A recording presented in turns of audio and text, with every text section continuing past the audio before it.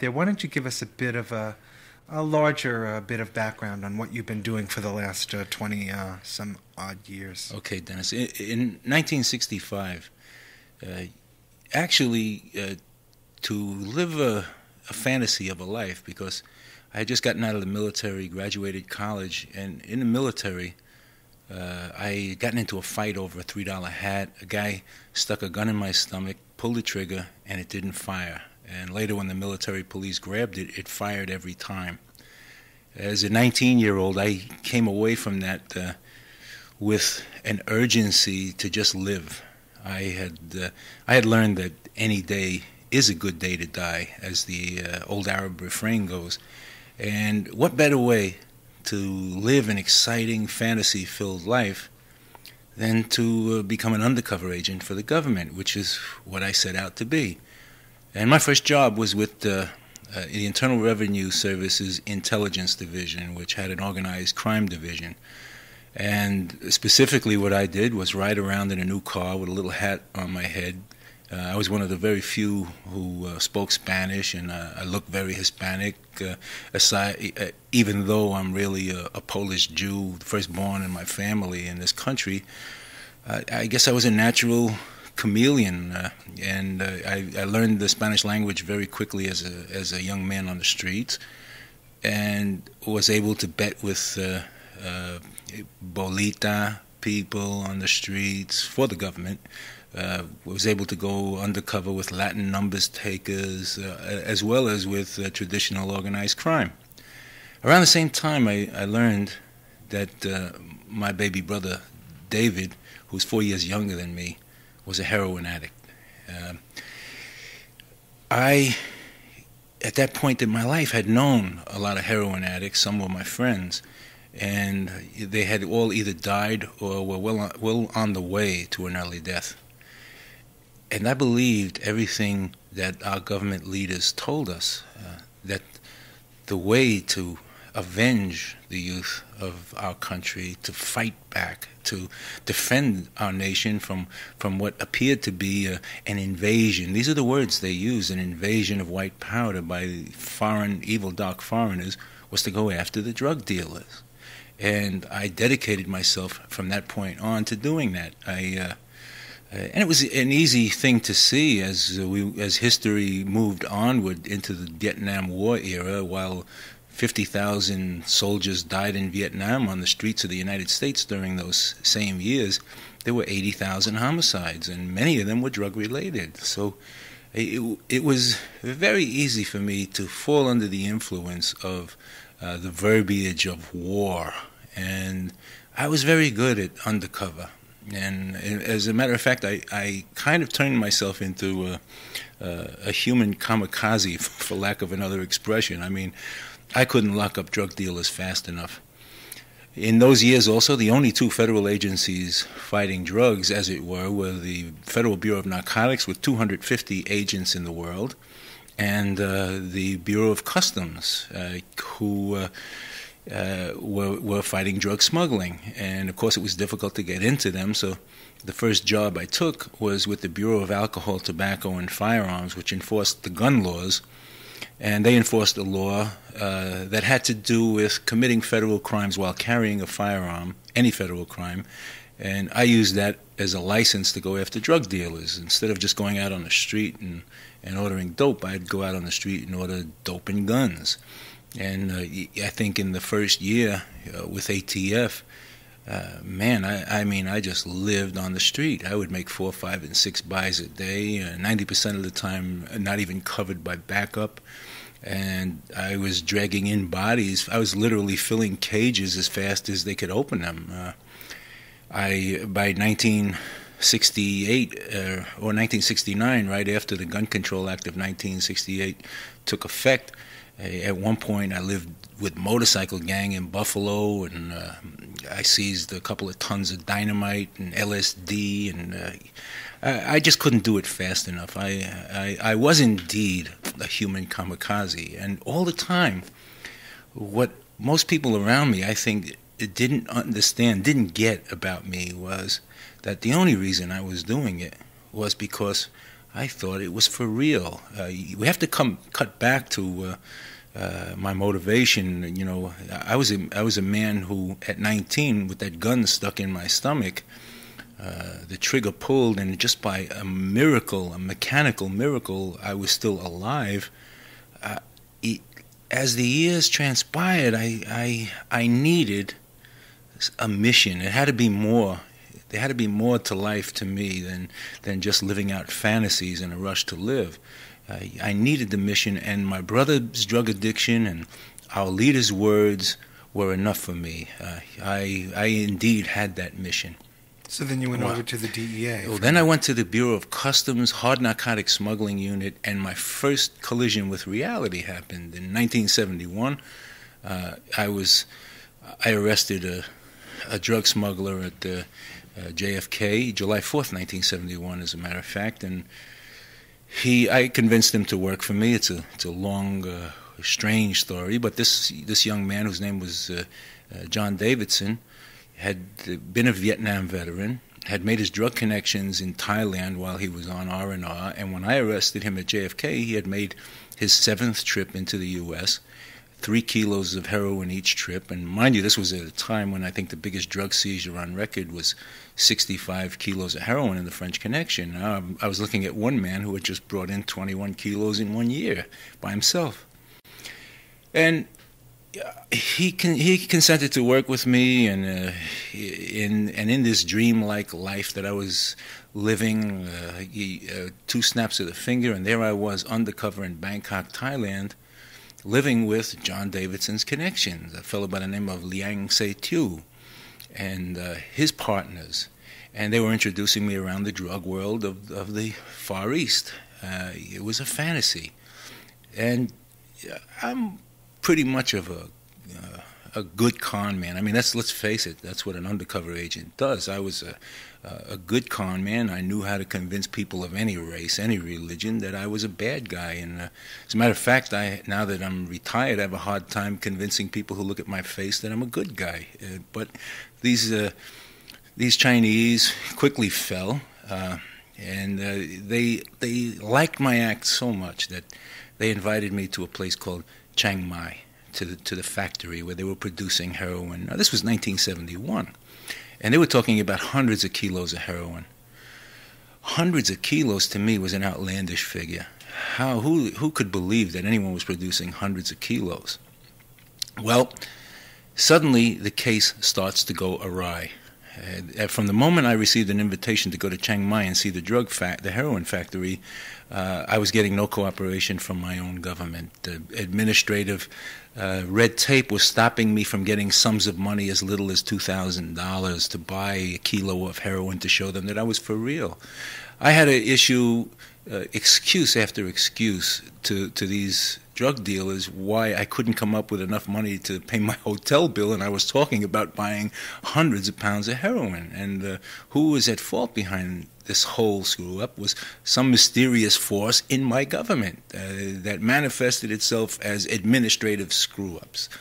Well, we cut to one late night. I'm called in to the embassy by uh, the customs attache, uh, a fellow by the name of Joe Jenkins, and there, there was the Bureau of Narcotics, uh, BNDD agent at the time, and other people who whose identity I didn't know.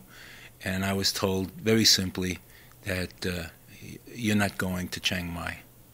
And I, of course, was, uh, you know, a good soldier. I mean, I have to tell you that later we learned that the source of heroin in Chiang Mai was the same source of a fellow by the name of Herman Jackson, who was putting heroin in the in the uh, dead bodies of uh, Vietnam, those killed in Vietnam, and smuggling smuggling them into the U.S. in coffins of no, in the bodies themselves, in the in rubber, the bodies themselves, yeah, in the body cavities, um, in the body bags. So, you know, the thought that anyone in my government would, in any way whatsoever, protect those sources of heroin was the most outlandish thing in the world. Uh, I think it was a, a, year or two before uh, Al McCoy wrote his book the politics of heroin, and had uh, well at that stage in my life I wouldn't have read the book because uh, you know it would have been uh, called Pinko Commie, you know.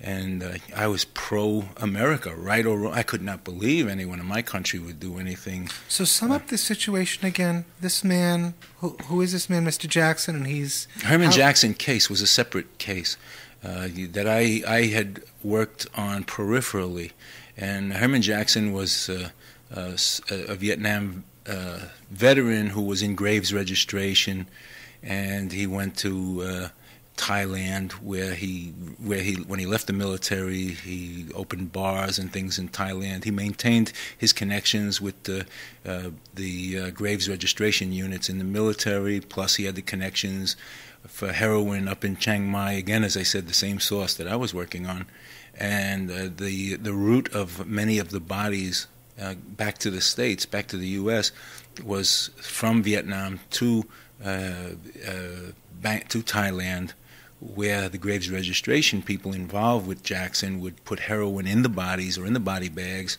They would be shipped up to the U.S. for burial, and another member of the ring would remove the heroin from the bodies and body bags once they uh, once they arrived in the U.S.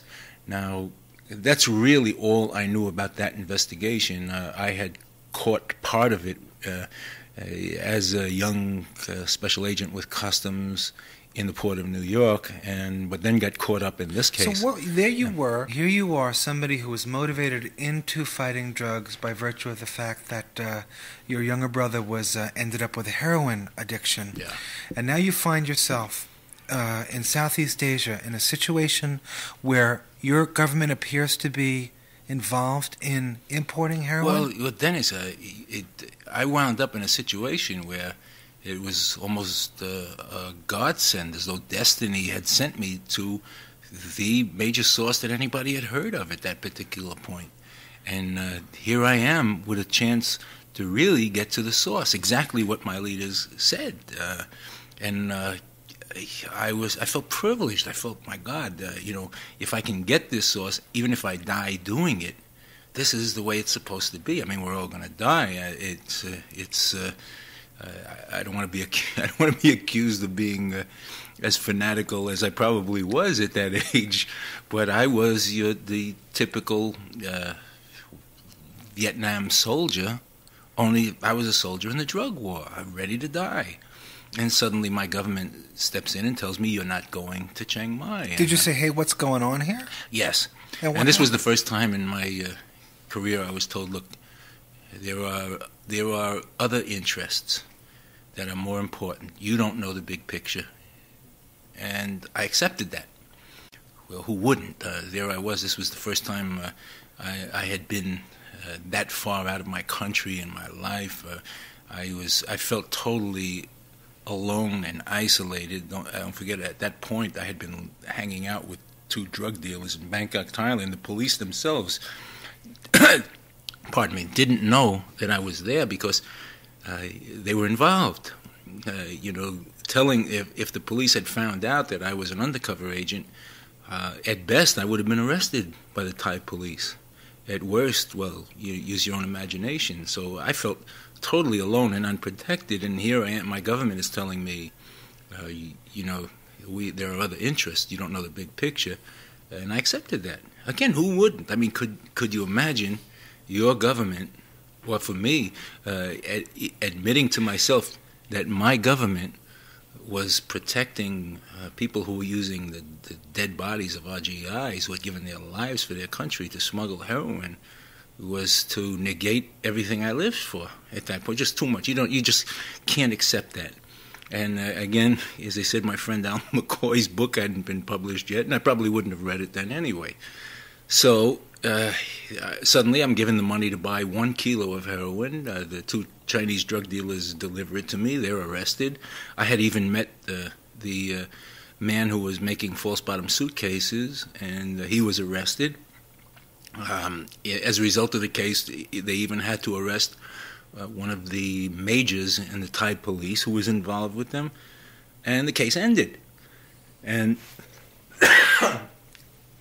around uh, the United States, the you know the case got a big media play, as they still do. You know, drugs on the table. Uh, it was the first time in, in our history that an undercover, one undercover agent, had gotten the smuggler in New York, the financier of the operation in Florida, and then the source, including the false bottom suitcase manufacturer, in one undercover operation. So it got quite a bit of play. As a matter of fact, the case itself was written uh, up in a book by uh, Donald Goddard called Undercover. I think it's a, Dell paperback, and uh, it, the America uh, never knew the truth. Well, I really didn't at that point know what the truth was. So we move on to. Uh, I go back to the streets, and in 1973, the Drug Enforcement Administration is formed to end uh, uh, I mean, uh, a bloody war between uh, DEA, between the Bureau of Narcotics and the Bureau of Customs, a turf war over who who is in charge of uh, the war on drugs and budget, and uh, a war, by the way, that has now spread to something like 53 federal agencies getting a piece of this war on on drugs budget, uh, including the military. But at that point, President Nixon created the Drug Enforcement Administration to end that war.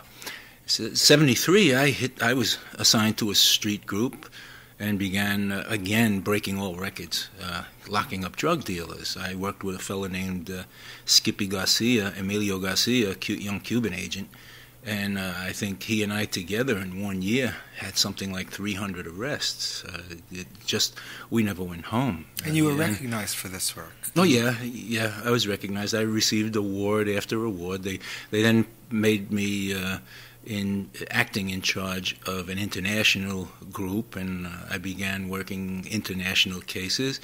And at that time in my career, I began teaching the techniques of undercover work, uh, informant handling, and I began lecturing for the Drug Enforcement Administration on those subjects. In 1977, I was teaching uh, narcotic undercover to the Brooklyn District Attorney's Office investigators it was February, and uh, I got a phone call right then that my brother, after 19 years of heroin addiction, had committed suicide.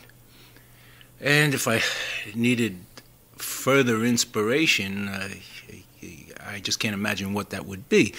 I hit the streets again with a vengeance. In 1978, uh, I was transferred to Buenos Aires, Argentina, as the country attaché uh, I was a diplomatic status. I was in charge of uh, uh, Argentina and Uruguay, all drug enforcement activities. For a period of time, uh, the FBI closed its office in the Southern Cone, and I absorbed all their work. I, in essence, for for uh, several years, was the senior U.S. law enforcement officer in the in the whole Southern Cone. It was in during my uh, time in Argentina that I went undercover and penetrated the Roberto Suarez organization. And now this is going to be covered in great detail in the Big White Lie.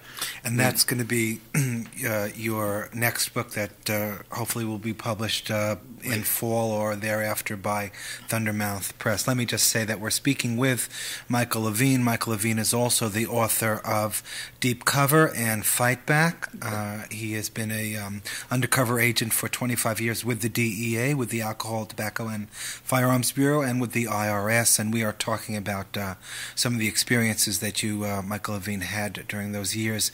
This um, encounter with Suarez uh, would be, uh, as you said, it forms the backdrop for this book that's coming out, um, The Big White Lie. But uh, give us some of the background. What was going on there? What happened when in you began to get into that? In essence, I, I uh, penetrated the Roberto Suarez organization at a time when. Uh, Explain what that organization was. Well, that organization uh, was the first drug, in the words of the State Department, the first drug cartel to take over a whole government. Uh, in essence, the Roberto Suarez organization created uh, the General Motors of cocaine. Uh, that still functions. You know, people look at Colombia as the source of cocaine when in fact it's not. Uh, Colombia does not grow cocaine. Uh, they get all, virtually 80% of their raw material back during this period of time, 90 to 95% of their raw material came from Bolivia. Uh, in fact, 90% of the, the world's according to the DEA, right after the Suarez case, uh, 90% of the world's cocaine came from Bolivia. You, at that point in our history, you put Bolivia out of business, you end cocaine. And now here I was, uh, threatening the people who were, and this is the Roberto Suarez organization, uh, they were putting under one umbrella organization every coca grower in Bolivia. So what happens? Uh, let me let me give you the uh, the soundbite version of it. Uh, we could have destroyed them. I penetrated them. I made the, the then biggest drug deal in our history, nine million dollars for about a thousand pounds of uh, raw coca base, and I I would have been accepted into this whole organization had we just bought the drugs, which we didn't. We uh, uh because of uh, power, the powers that be, or I should say, the powers behind the scene. They only the only thing they would agree to after trying to destroy the case for three months uh, was a buy bust operation that would end uh, in a bank vault in Kendall, Florida. And with undercover agents flying down to Bolivia and picking up the then biggest load of cocaine in history. Well, that that uh, case was written up as the Great Cocaine Sting by Penthouse magazine. Uh, it was got world press. Uh, part of it was used uh, to for, to make the movie Scarface. Was inspired by this case. Uh, I'd say sixty to seventy percent of the movie Scarface, with uh, Al Pacino doing a bad Spanish accent, was the facts that came from this case. The only thing that was left out was that the United States attorney released the biggest drug dealers in the world. Uh, Pat Sullivan, the man who ironically uh, prosecuted Manuel Noriega, released the man that was paid $9 million for the drugs, Jose Roberto Gasser, without even putting the case before a grand jury. Now, that never made the press. Uh, Jose Roberto Gasser went back to Argentina, to uh, Bolivia, before I could get back there, and I was the undercover agent. And he and his father Erwin Gasser. Again, the details will be uh, put down meticulously in the Big White Lie because they're astounding. And every American who is at all interested in the reality of what started their drug war should read this. Uh, it is the true history. The true history being that Erwin Gasser, Jose Roberto Gasser, the people we arrested, uh, again, parenthetically, we had to get um, help from the then Bolivian government, Lidia Gueiler's government, which was probably the last South American government that was truly anti drug.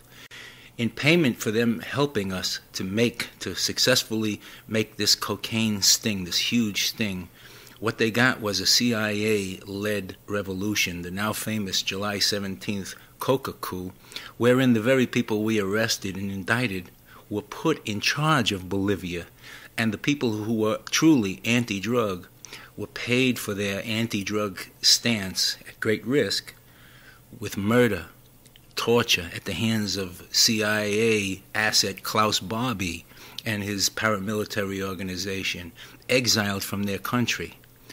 Uh, you have to say a little bit more about how that worked. Well, how that worked was uh, I immediately went back to Argentina and uh, uh, was astounded to find that uh, the people we had arrested were already released from jail and nobody had done a thing in the U.S. to try and stop them.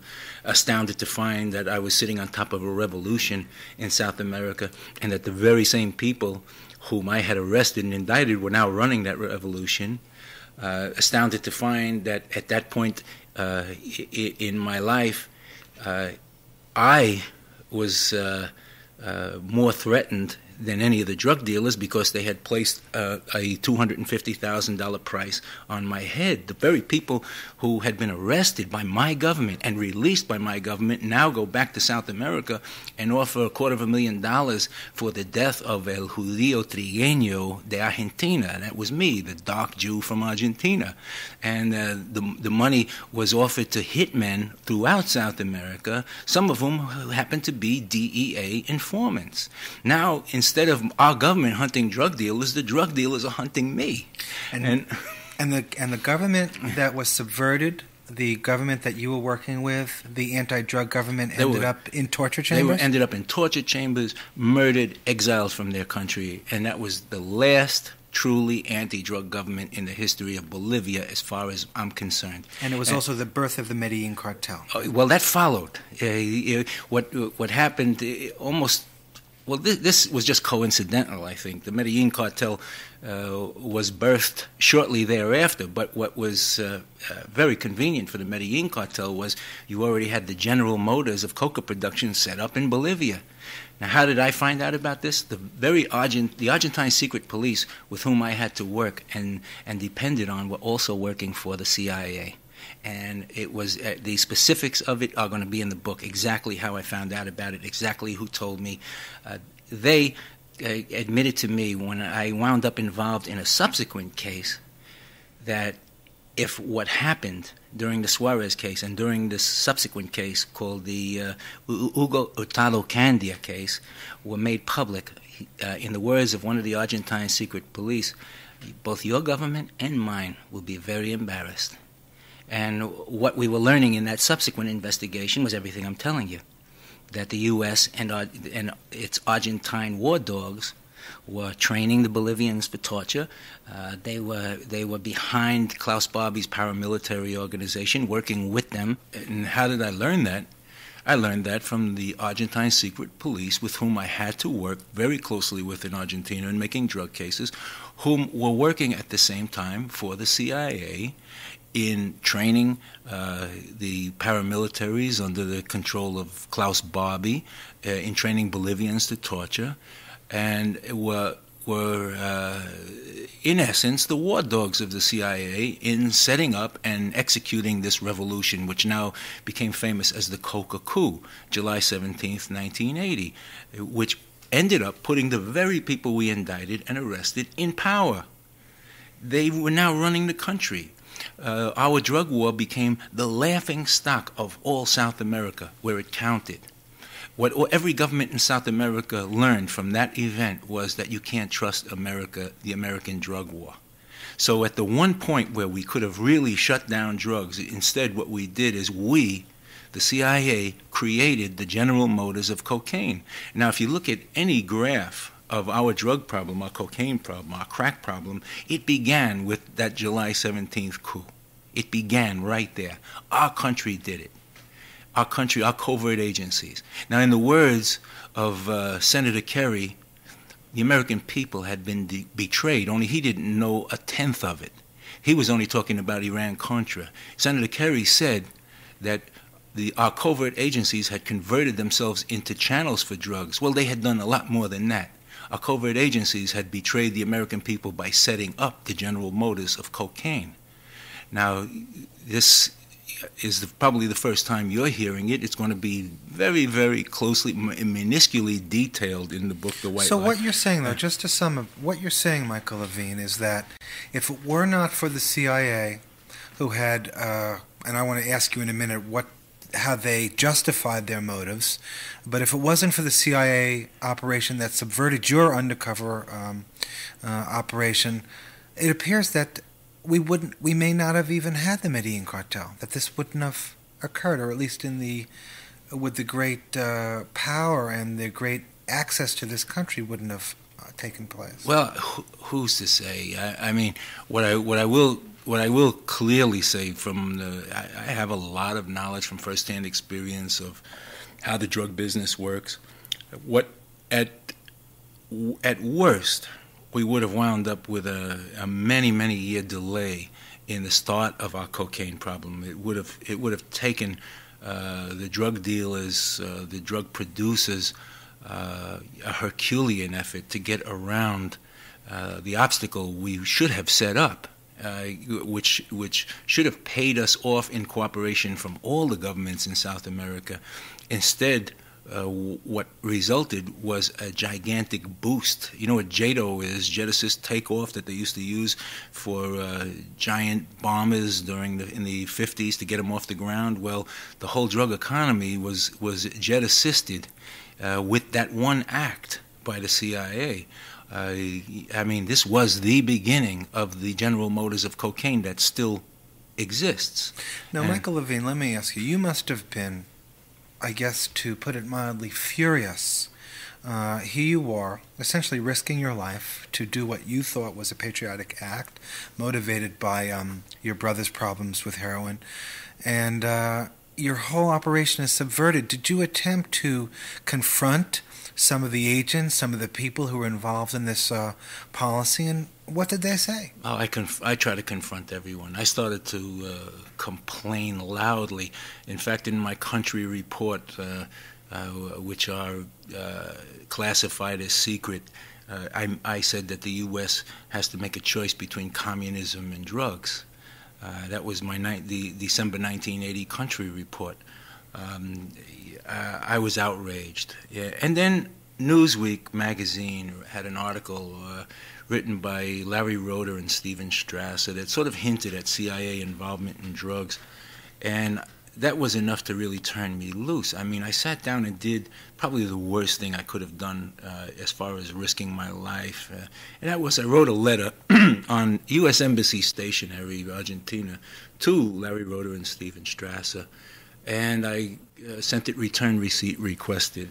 And in the letter, I told them, if you want a real story, why don't you check on why Jose Roberto Gasser was released by Sullivan, the U.S. attorney, why Alfredo Cotucci Gutierrez was was uh, released by Judge Alcee Hastings, why he dropped the bail uh, on uh, uh, this other biggest drug dealer in our century, and why no one in our government did anything to stop them from leaving the country, and so on. And I never got an answer from they them. They didn't pick up the lead? Newsweek didn't pick up that lead? The only thing I knew was that it was delivered because someone from Newsweek signed the return receipt requested, which I have.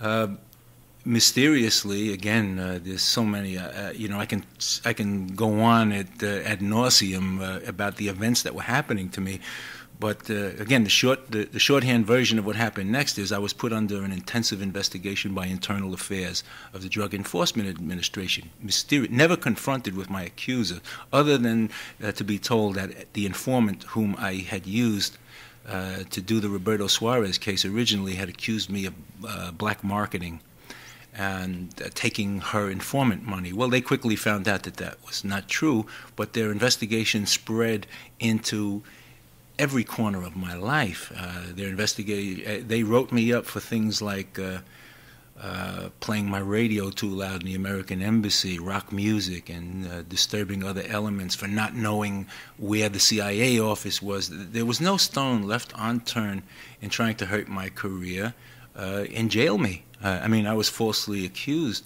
of black marketing. I was falsely accused of stealing money. I was falsely accused of uh, uh, rigging my vouchers. They put you in jail for this? Uh, sure, it's per- it's perjury. It's uh, grand larceny. I was given my my constitutional rights every time I was interrogated.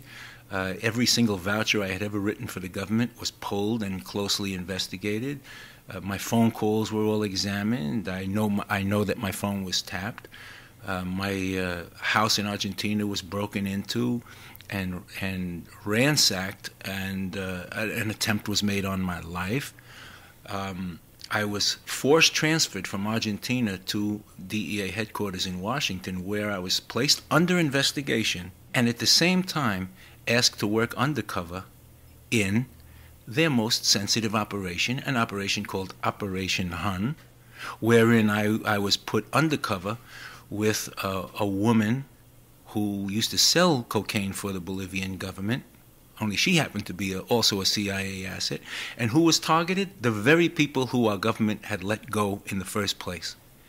Uh, the, the Bolivian cocaine cartel. This was Operation Hun.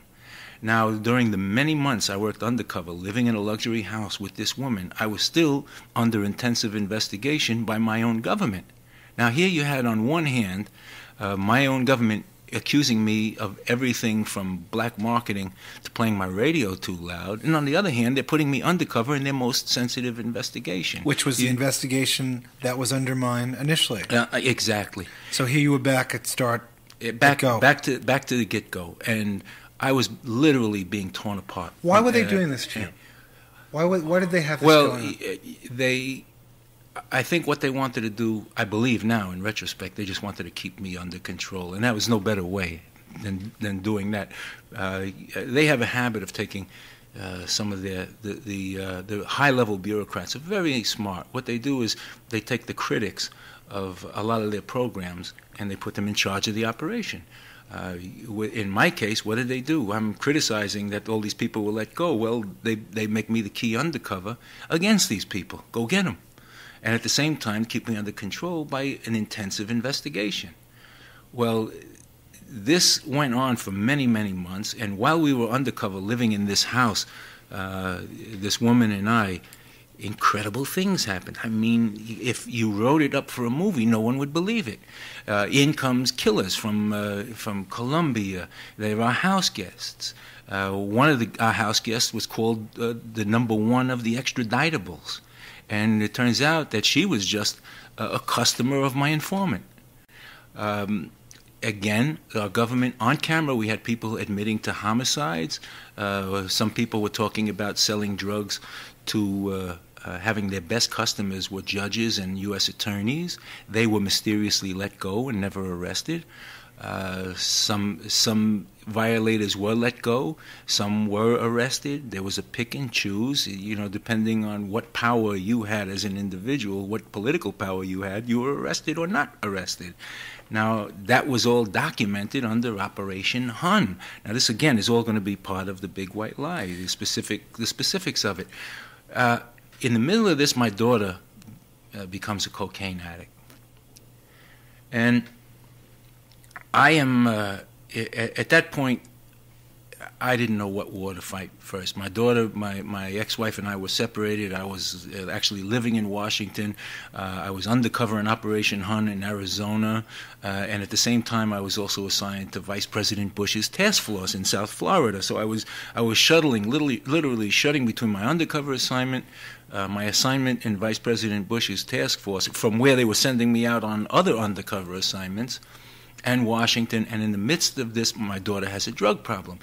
I'm still fighting what's going on. I'm still. Uh, I, I turn to everybody from B'nai B'rith to uh, uh, anyone who would listen to me to try and get some support. I had no money.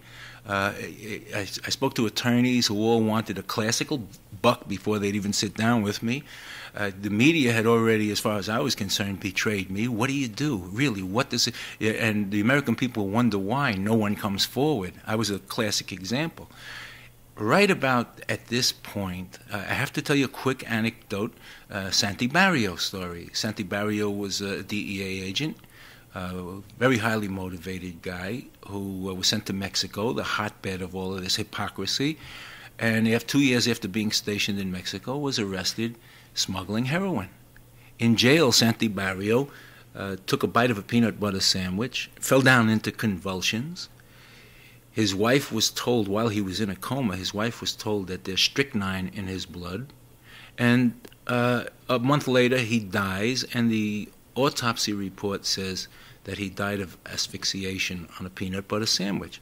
Well, of course, within DEA, uh, many, many agents believe that either DEA or the CIA killed Santi Barrio. That, now, that for me was, again, a hard concept to swallow. I couldn't believe that my government would kill one of its own agents. Why Who the heck could believe did? that? Why would they think that, that, he knew too much? He just knew too the the, the uh, uh, the story that went with it was that Santi knew too much about CIA operations involving drug smuggling and uh, all the dirty dealing that goes in the world that I lived in for 25 years. And uh, I get a phone call now. I'm sitting and I have a, an application for a hardship transfer in uh, to get back to New York and fight my daughter's daughter. yeah to deal with my daughter. I'm under investigation, and I get a call from a man who is now a high level man in DEA. And he says the following He says, Mike, I like you, but remember a peanut butter sandwich. And I say, You have got to be kidding. I mean, I can't. He says, No, I'm not kidding. And that was enough for me. Uh, I stopped fighting. I was also told a bureaucracy, Mike, has a very short memory. And you just keep your mouth shut and they'll forget and you'll be your career will be back on track, everything will be fine. Well, now this peanut butter, this was a threat. You took this as a threat that well, the I same didn't, thing would happen to you as happened to this other agent. Yeah, but I took it from this particular person. Uh, I believe he genuinely liked me. I didn't believe he was threatening me. But he wanted to alert you. but he something. wanted to alert me. Uh, you know, I don't know whether he had heard something. I don't know uh, uh, what exactly was going on, but I, I admit it, I was scared to death. they, they scared me into silence, complete silence. And uh, suddenly, the uh, my investigation ends. This two and a half year investigation, and the only thing they could charge me with was failure to keep proper records uh, on my vouchers, which is kind of like uh, charging uh, uh, a soldier in Vietnam with failure to keep proper accounting records for his income tax return. Uh, and the other thing that uh, was very interesting about this particular charge that there was no violation. I mean, there was nothing in the book that said failure to keep records, but I was warned to just accept that. Michael Levine, there you were, scared to death, finally silenced, I, trying to deal with the situation around your daughter yeah. having a, a, heroin or a cocaine product. So uh, I, I, I, made it very clear that I was no longer a threat. Uh, I wasn't going to fight. I was just going to accept anything they did to me, which I did. And I was given the hardship transfer to New York and went back to work uh, undercover in New York City. I was a group supervisor. I was a task force supervisor. I was, uh, you know, back in the drug war, and at the same time fighting my daughter's drug battle constantly. Uh, thank God, uh, I uh, I practiced what I now preach about drug problems, and we won my daughter's drug war. Um, had the following not occurred, I probably would have gone into history silently, unknown, uh, which is really what I wanted. I could never have imagined myself writing the books uh, that I'm writing and saying the things I'm now saying. It was as far, uh, believe me when I tell you, I started out in this business politically uh, to the right of Attila the Hun. Uh, I mean, way to the right of Attila. what Attila does that mean? Well, I, I, it was my country, right or wrong. I didn't question anything they said. I followed orders. Yeah, what what you see before you is their creation. Uh, they did two things to me. They made me one of the best they've ever had at undercover and at documenting criminal cases and criminal conduct. And then they acted as criminally as you could in front of me. And that's what you now see. Uh, you know, the, I'm the end product of their doing. Now, had I not had uh, in uh, September 87, I get a call to go undercover again in Operation Trifecta. And had Operation Trifecta not happened, where we penetrated the top of the drug world in three countries, and probably what should have been the most far reaching undercover case in, in history, and it was destroyed in all three countries, well, that set me off, that pushed me over the line. Uh, at that point, I, I, said to myself, you know, I wasn't saved from uh, that bullet when I was 19 years old to uh, to keep my mouth shut, and I wrote Deep Cover, uh, and now Fight Back. Uh, now uh, uh, the Big White Lie is coming out to set history straight, to tell America what victims they have been and what a deadly, long-running lie they have paid for. Okay, now let's pick up on some of that work that uh, came after uh, you're finally being fed up and leaving your uh, work with the DEA and with the government. And you've, as you said, you've published uh, Deep Cover, which was sort of a general analysis about how the CIA and the DEA continually undermine through. Uh, through both uh, I, stupidity. I got to differ with you. If you read Deep Cover, first of all, it wasn't general it was from the eyes of the undercover agent who lived it. It was very specific. It showed everything that happened, uh, including when uh, Edwin Meese blew the cover of undercover agents uh, who uh, who would have exposed high-level Mexican corruption in the drug world. Uh, Edwin Meese himself telephoned the Attorney General of Mexico to warn him about us while we were working undercover with a member of the Attorney General's office. Uh, you know, buying drug protection from the Mexican military. Uh, there was nothing general about it. It was very, very specific. Uh, you know, we, we pointed out that even the, the, head of DEA in Mexico refused to cooperate with the investigation.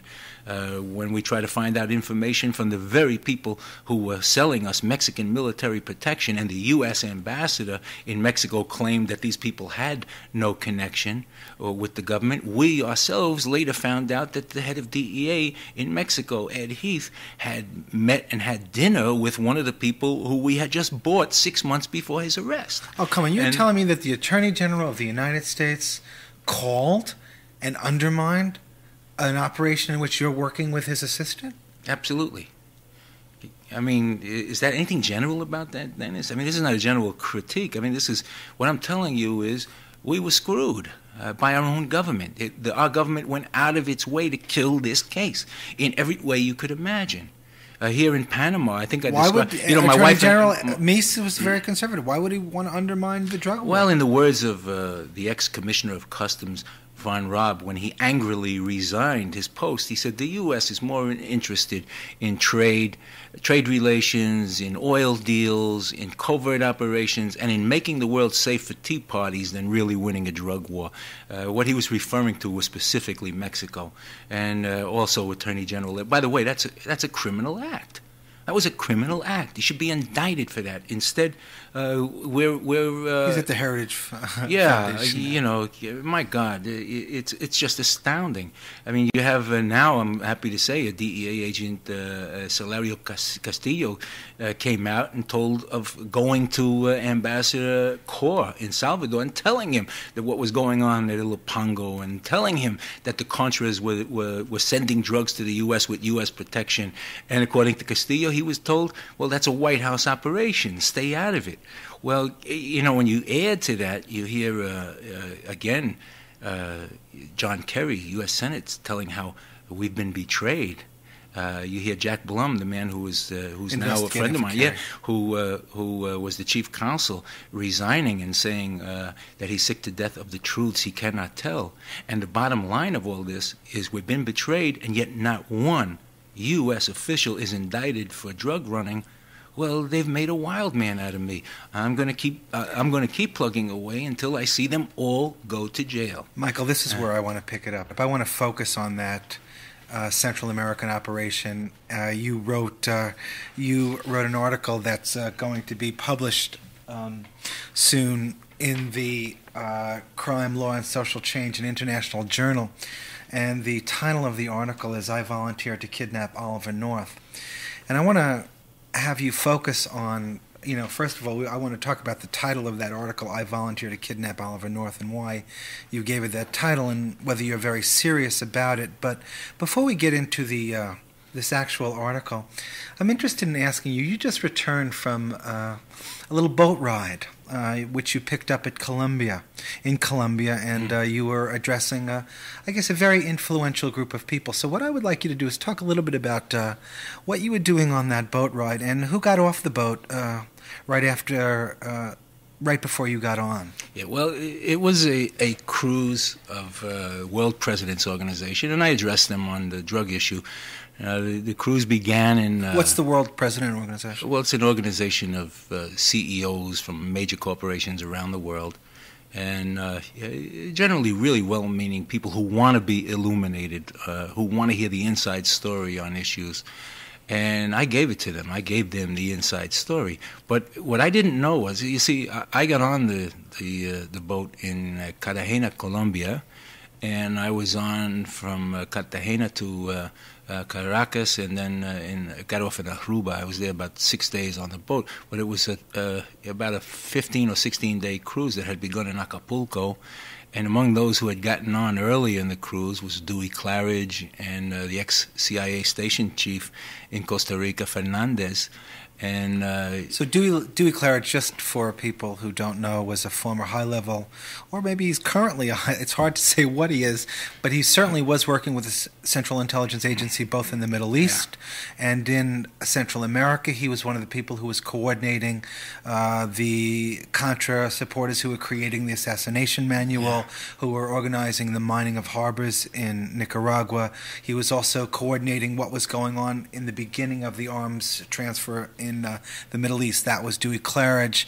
Joe Fernandez, as you mentioned, the former CIA station chief in Costa Rica, was key in helping to essentially bring the CIA in a way into Costa Rica that subverted not only their uh, economy and their democracy, but led to uh, assassination, drug dealing, and so on and so forth. That's about right, Dennis. The it was kind of funny, uh, you know. The mo- the moment I heard uh, that uh, Joe Fernandez, who I, whom I've never met personally, was on uh, this boat, uh, the Seabourn Pride, uh, I I said and and that I that they had stopped in Costa Rica. I I said, did, well, did he get off in Costa Rica? And the reason I asked uh, the question was because I know uh, President Oscar Arias, the Nobel Prize winning president of Costa Rica, had banned him from entering his country. Uh, he, along with Lewis Tambs and Oliver North, uh, for drug and gun running. And, and uh, one of the people from the crew said no. As a matter of fact, uh, you know, he thought it would be dangerous for him, and I had to laugh. Sure, it would be dangerous to go him. back to Costa Rica. Uh, yeah, it's kind of funny, you know. And now you take, uh, you know, what really makes me laugh uh, is you have this CIA spokesman, I think his name is Christian, who uh, after DEA agent Castillo came forward and said, "Hey, he went to he went to the ambassador and told him the CIA was running drugs." Well, uh, this guy came up and said, "We never, in any way, uh, support, condone, or have anything to do." Now here you have a CIA station chief who's afraid to get off a boat. Uh, I mean, how how much more uh, did the American people really have to tolerate before they take a stand and get rid of these criminals who are not only helping to destroy their nation, uh, who are ransacking their constitution, but as I learned in Paris last month, are also creating an image of the American people that is ugly around the world. Okay, I want to stay. I want to come back to this. I volunteer to kidnap Oliver North, Michael Levine. Hmm. Uh, I just showed you an article that appeared in today's Newsday, in which you've got Jesse Helms uh, with the support of Congress or the U.S. government under Bush, who just left, uh, threatening the Costa Rican government, saying that they want to have returned or they want to, to be these certain farmers who were had large portions of land in Costa Rica during the whole Contra War. Land, by the way, that was managed, uh, part of that land was managed by John Hull, who has now been indicted by the Costa Rican government for assassination and implicated in massive drug trafficking. They are saying that the and there's already been threats and uh, things carried out by the International Development Bank and the World Bank that Costa Rica will be cut off if they attempt to take this land that was used by, by these people through Hull to support Contra drug trafficking. If they don't get their land back, the United States is going to shut them down. Now, I think that's where we come into I volunteer to kidnap Oliver North. Now, are you serious? You've got an article coming out in Crime, Law, and Social Change. Are you really willing to go and kidnap Oliver North and do what with him? Well, uh, it it hinges upon a lot of a lot of ifs. Uh, the point of the article is to really highlight how incredibly hypocritical we have shown ourselves to be around the world vis-a-vis this this drug war. Um, Oliver North was banned from ever entering Costa Rica. Why? For drug and gun running. The President of the United States called him an American hero. Uh, a U.S. Ambassador, Lewis Tambs, was banned for drug and gun running, uh, his role in it, conspiracy by, again, a, a Nobel Prize winning president. Uh, uh, Fernandez, Joe Fernandez, couldn't even get off a boat in Costa Rica because he's banned. Uh, these are high level American officials. Now, uh, officially accused in what's equivalent to an information, not an indictment, which is like an arrest warrant, is John Hull for his role in working for these people. Now the big fear. Now, and let's just say that the Costa Rican government has asked for extradition. They have of John Hull for assassination and murder, and in that request, they've also implicated him in drug trafficking. Exactly, and uh, ironically, the Costa Rican government, Arias, was himself the subject of threats from U.S. senators uh, that he would lose aid, etc., if he if he quote unquote uh, made embarrassing accusations. Well, it, it put this this uh, really very intelligent, well-meaning man in a strange position. I mean, here he is really wanting to fight a drug war. I mean, the drugs he was accusing these people of running were all going to the United States, and we're not talking about small amounts of drugs. Let's talk about how much we're talking about. Um, it, Tom Zepeda, when he was uh, uh, the boss of the DEA office in Tegucigalpa, Honduras, documented 50 tons of cocaine coming into the U.S. during a 15 month period at the hands of Contras and Honduran military. And they closed his office and transferred him. Uh, that, now you're talking about roughly what was estimated then is uh, 50% of U.S. consumption of drugs. At the same time, in the last decade, they've taxed, the federal government has spent $100 billion fighting drugs. Uh, so what happens? Here you have Oscar Arias wanting to get to the bottom of this, wanting to arrest John Hull and interrogate him and put, the, as you do in any criminal investigation, uh, make him talk, make him give specifics. We know who he was working for. He was working for Oliver North. Uh, Ollie North, of course, uh, has already implicated the president during his book tour. Nothing official. He said, well, he had to know. Uh, so who knows where the arrest of John Hull will lead to? You know, the U.S. government will possibly no longer be able to look the other way as we have been. During uh, uh, the Iran Contra uh, testimony, what Americans who watched it closely found out was that all the drug dealing evidence was given behind closed doors, secret from the American people. Uh, you know, these little uh, uh, little minuscule charges of lying to Congress uh, that everyone was so ha, has been able to laugh off so easily, alongside of charges uh, like conspiracy to smuggle drugs, which carry a man, minimum mandatory sentence. Uh, you have to wonder whose side are these senators on. Well, it's interesting. Uh, You're volunteering to uh, kidnap Oliver yeah, North. I know metaphorically. It's also the case, as you know, that John Hull was smuggled out of Costa Rica by a DEA agent and uh, brought into this country. Yeah, now I've heard that. So isn't this a rather great irony here? We have a DEA agent smuggling uh, John Hull out of the country. This uh, uh indicted uh, person who's indicted for murder and implicated in drug trafficking. He's now uh, listed in Interpol as wanted by the Costa Rican government. And now you're volunteering to take North back. You think he'll take Hull with North back? Well, uh, first of all, let me say uh, I heard the same story you did, I, but I I never really I don't like to assert things I'm not I don't have evidence of, uh, but I've heard that. Uh, well, let me say, my source is Tony Avirgan, a journalist who spent uh, many years in Costa Rica, yeah. and who, who you will hear in another interview has uh, verified this with the DEA that in fact John Hull did come back into this country, and supposedly there's an ongoing investigation. But I, I appreciate that you don't have the first-hand knowledge, and that's what makes your interview very important. That what you're talking about is that which you know. Yeah, exactly. And uh, you know, I still testify to this day. I work as a consultant and testify as an expert. And uh, yeah, I want to make sure that my credibility kind of continues. So tell us but about it wouldn't surprise would, me. Tell us about this so-called uh, volunteer uh, operation that you would, in fact, ki- kidnap Oliver North. Well, it's based. Look, uh, DEA agents, out of frustration because their own government tried to cover up, including the head of DEA, try to try to quickly sweep uh, the murder of Enrique Camarena under a rug where it wouldn't get in the way, in the words of Commissioner Von Raab, of uh, special trade agreements and oil and uh, you, you, name it. Every other, every other interest uh, uh that's more important than a, a young man's life uh, would come first. Well, the, his fellow agents, out of frustration, uh, arranged the kidnapping of a man that they thought was one of those responsible for Enrique's death.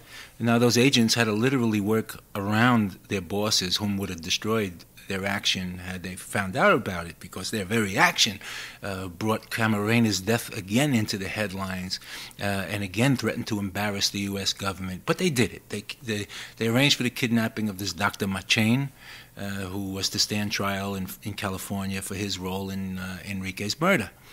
Now, the Supreme Court uh, gave its uh, stamp of approval on their action, and when they literally said that it's legal, quote unquote legal, for American agents to go overseas and kidnap violators of uh, those of American laws and bring them back to stand justice here. Now, I have to state that back in my career, and I begin the big white lie with this, that that's something we did anyway. I mean, uh, I took part in a kidnapping. Uh, I detail it at the beginning of the big white lie, but we used to call it something else then. We called it a controlled expulsion. Uh, it's yeah, I guess it's sort of like calling rape uh, extreme seduction or you know something like that. But uh, the Supreme Court in general uh, said it's okay to do this. Well, immediately the the Ayatollahs said, well, it's now okay for us to go around the world kidnapping people for violations of Islamic law. Immediately, I can see that kidnapping is has become like an accepted tool of law enforcement. So I'm not talking about violating the law now. So now I, I, I look around and I realize that if uh, Senator Helms and his uh, his people have their way, no U.S. Uh, uh, violators of uh, you know of carrying official titles may ever stand trial. I don't know. Uh, you know, I want. I took an oath once. Uh, my oath was to bring to justice anyone who smuggled drugs or, or aided and abetted in it or conspired to do it into this country. I took an oath to defend the children of this United States, including those like my brother and my daughter. And uh, I don't care who they are, even if it's Oliver North or President Reagan, if they did it, they have to go to jail. It's a terrible crime. Uh, President Bush said, This scourge will end, and all those who look the other way are as guilty as the drug dealers. I'm carrying his words out.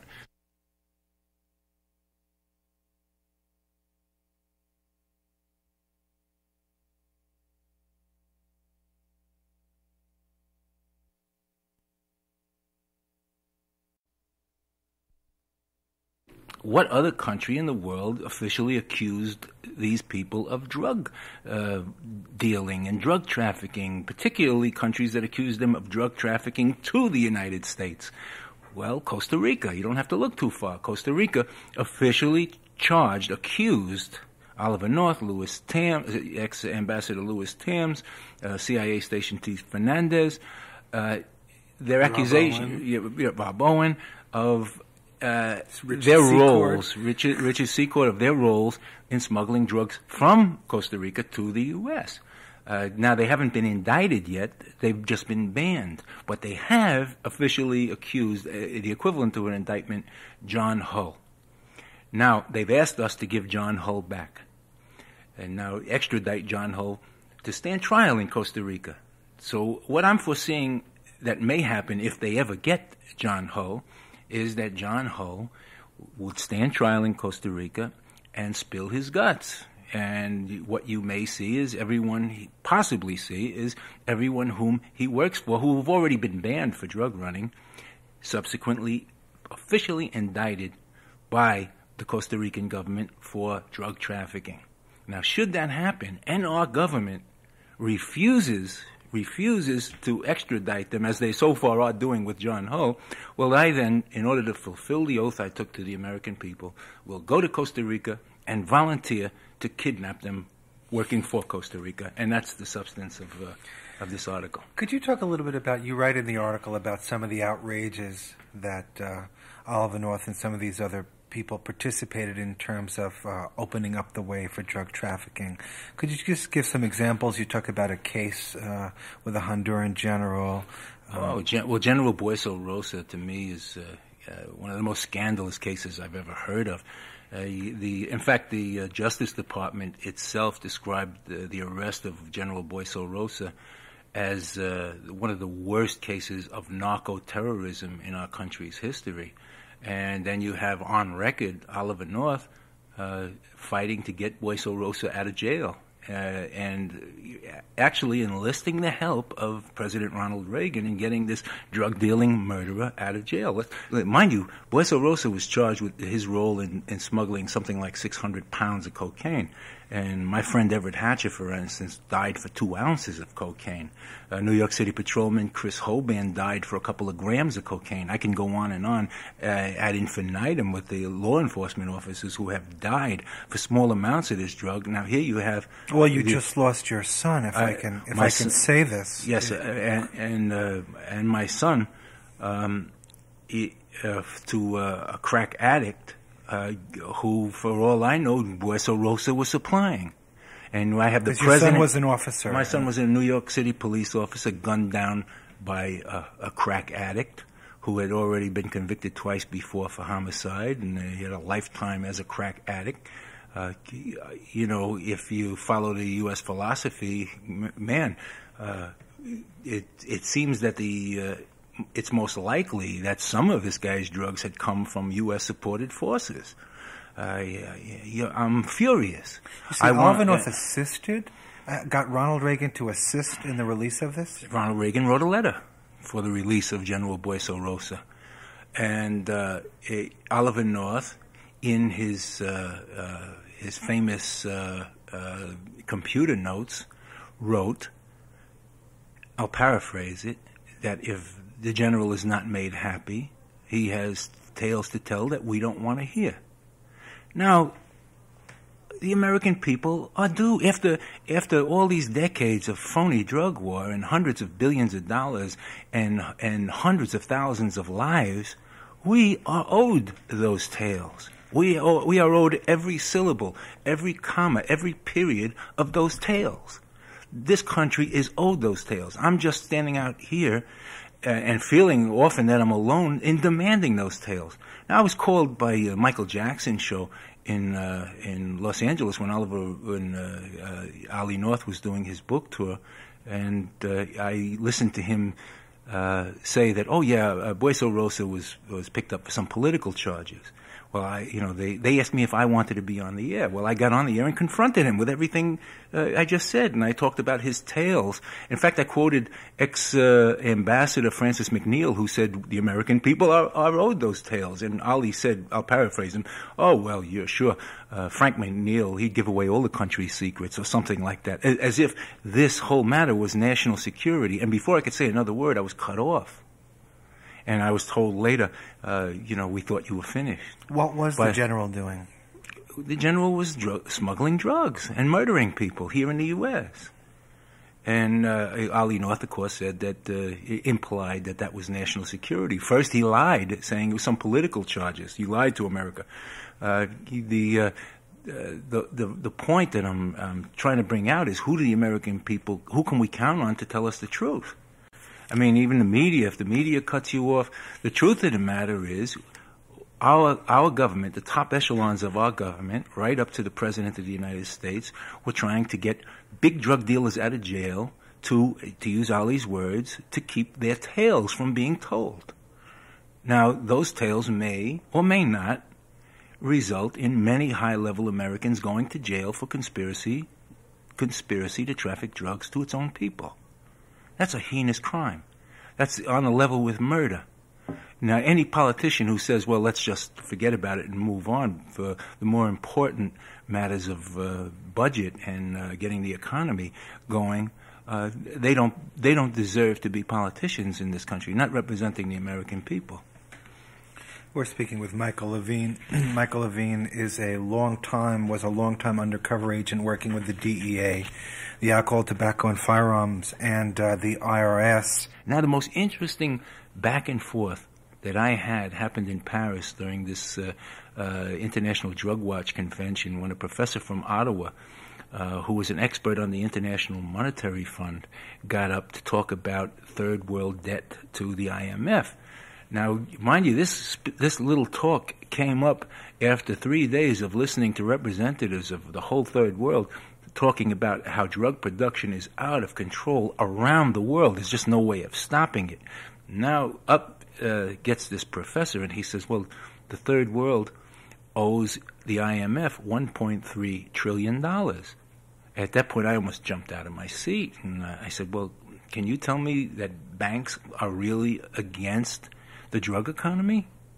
Said, well, uh, this is not, you know, he said, well, he, he got a little incensed. He said, what do you think, bankers are involved in a conspiracy? I, absolutely not. They don't have to. As long as we continue fighting drugs, you know, quote unquote, fighting drugs, drugs that don't talk, drugs that don't fight back, as long as we're at war against a white powder, they don't have to say a word because it's a losing proposition. But what I want to know is, wouldn't they be a little upset, banks, if we suddenly won, I mean, if suddenly the drug economy collapsed, and when the whole third world has nothing but drugs to sell, and that, that $1.3 trillion, a good portion of that is coming from drug money. By the way, uh, the uh, yearly drug economy, world drug economy, has been measured as up to half a trillion dollars.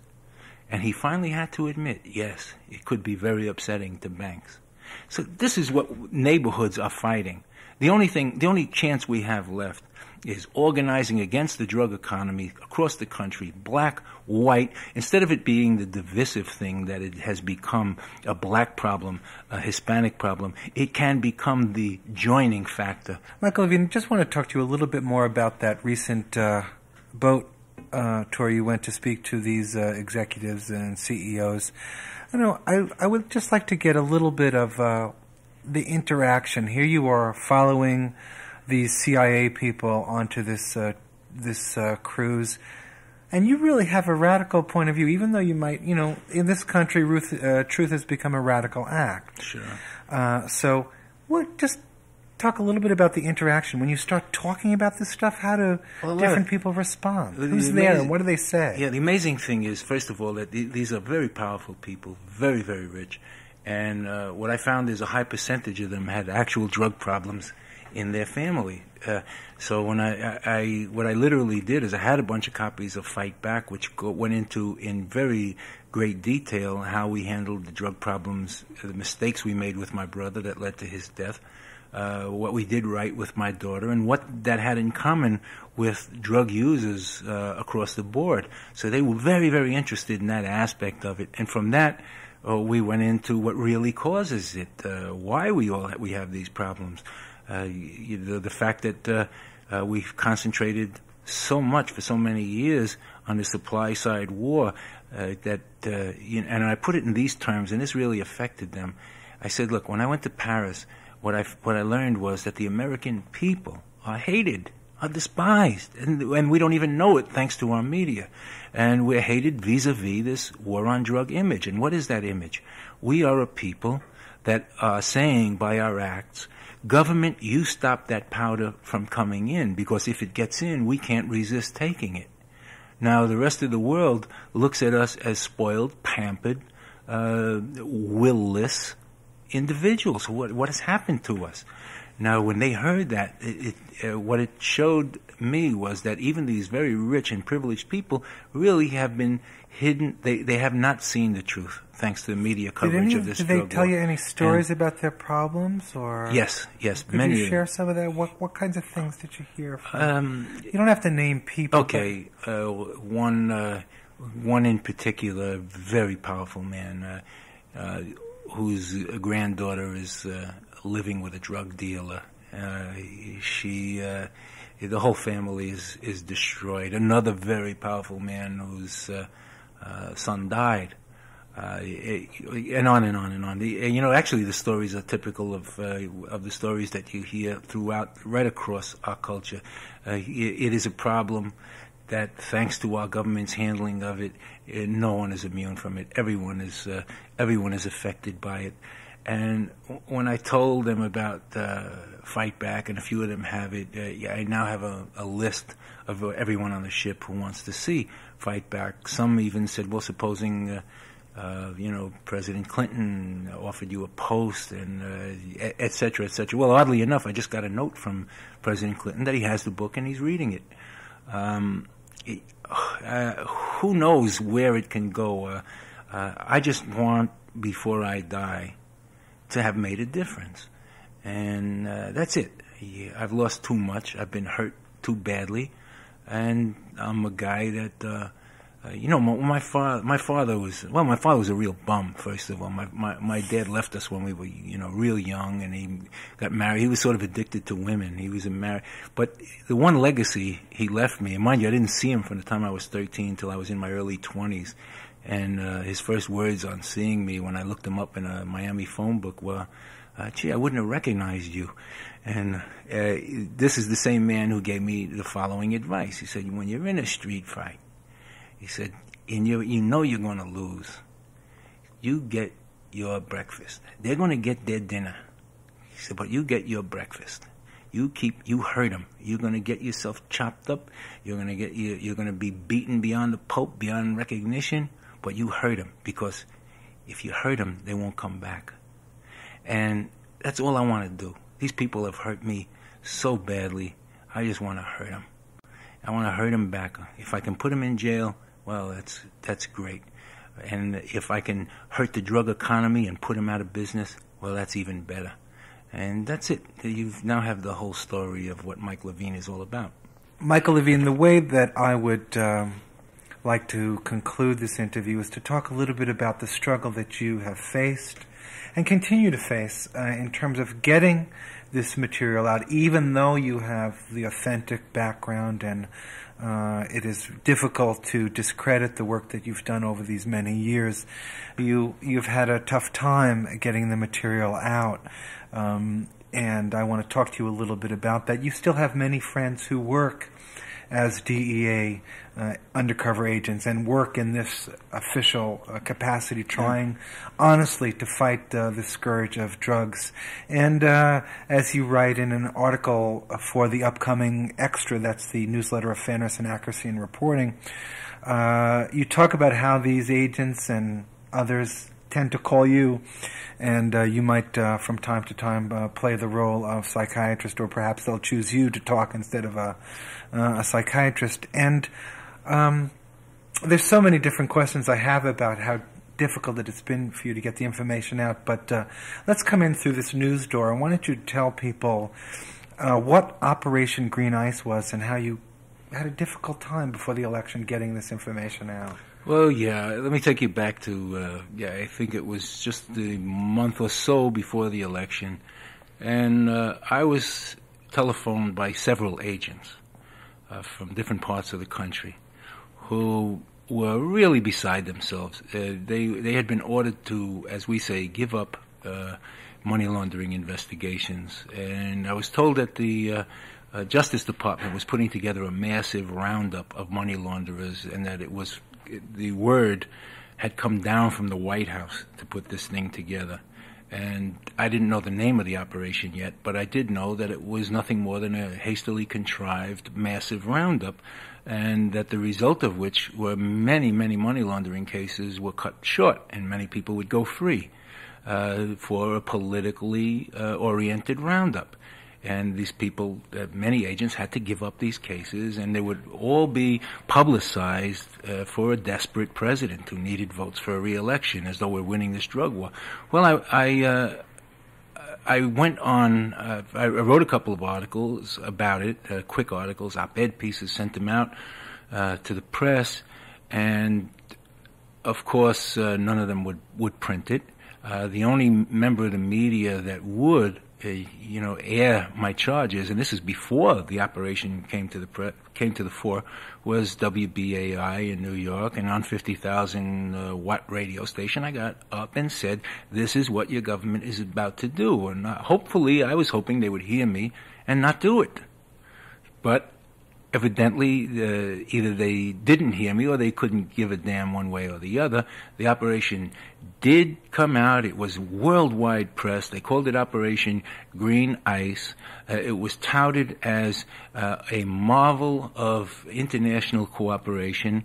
And uh, whatever it got the president, uh, thank, thankfully, uh, it was not enough to get him elected. Now, I'm invited to speak at this uh, International Drug Watch in Paris. I went as a guest of the French government. And there I found out that uh, from uh, uh, French journalist Philippe Baudet that he had approached some of the French contingent involved in Green Ice and that they were so scandalized by the operation that they had threatened to go to the media, that it was a fraud, the whole operation. Uh, you know, you had the highest levels of our Justice Department touting this operation as a, as a marvel, as this great thrust into the into money laundering. And all I could say was, uh, you know, I wish they had gone to the media. Well, oddly enough, when I got back to the U.S., there was one final rejection note uh, uh, for my article about the uh, the fraud that Operation Green Ice was, and it came from the Washington Post. And in it, they said, "That's not the kind of thing we publish." Uh, well, I already knew that, and uh, so thankfully there is a fair, and uh, they're going to publish the article in uh, in, in, Extra. You also had some problems tr- publishing. I volunteered to kidnap Oliver North. Too. Oh yeah, uh, in fact, there was some interesting back and forth. Could you talk about that? Oh yeah, when uh, I sent it to the American Bar Association Journal, and actually got. a really great letter from the the editor who said that uh, I'll paraphrase him. The article he said really blew him away. It was uh, a great article. It made him angry. He said the trouble is uh, no one's interested, and uh, no one just no one gives a damn anymore. Is what it comes comes out to. Nobody wants to know. Uh, but I don't believe that. If I when I, the day I believe that. Uh, I'll start writing semi-pornographic movies about undercover agents who screw the world. And uh, well, what's the response when you skip the media and go right to the people? How do people you, you lecture around the country, around I- the world. I get How around- do people respond to you? People Do they uh, wanna hear people, Yes, they do. People do want to hear it. They're astounded. Uh, what they're really astounded about is how little the media covers this side of the drug war. How little coverage there is, and all they want, they're hungry for the truth. And I think once the truth is out and is out constantly, as it was during Watergate, where it was a constant barrage of truth, we will then have our elected leaders finally doing the right thing, moving for a public hearing of all those charges Senator Kerry heard behind closed doors and some indictments for, in his words, the treason against the American people.